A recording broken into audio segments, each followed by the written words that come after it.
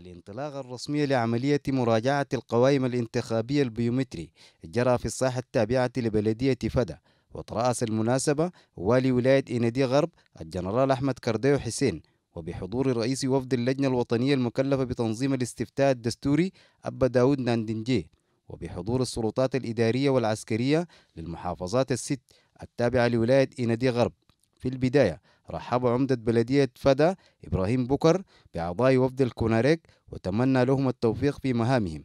بعدها تحدث رئيس وفد اللجنة الوطنية المكلفة بتنظيم الاستفتاء الدستوري أبا داود نانديجي شدد على أهمية توعية وتعبئة الشباب من الجنسين الذين بلغوا سن الثامنة عشر. أولاد من 2020 وعلم 2020 21 22 علم 23 ده عمرهم تم 18 خلاص. هم ذات واجب لهم يشيلوا كارت في ايديهم هم الحسن يشيلوا فيلو بال machine ده ينضموا مع الاخرين مع حنان الأول ده وقت ده ده يلقوا كارت أنا في ايديهم أما والي ولاية إندي غرب الجنرال أحمد كرديو حسين صرح بأن عملية مراجعة القوائم الانتخابية تعد في غاية الأهمية باعتبارها من قرارات وتوصيات الحوار الوطني الشامل والسيادي.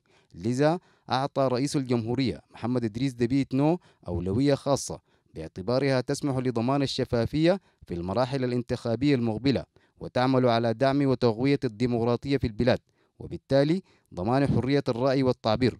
وناشد والي ولاية إندي غرب الجنرال أحمد كردو حسين مسؤولي الأحزاب السياسية والشيوخ التقليديين في الولاية وشجعهم لإنجاح هذه العملية لتحقيق مستقبل زاهر لبلادنا وولاية إندي غرب. بعدها سلم والي ولاية إندي غرب الجنرال أحمد كردو حسين أول بطاقة بيومتري إذانا بالانطلاقة الرسمية لعملية التسجيل في القوائم الانتخابية.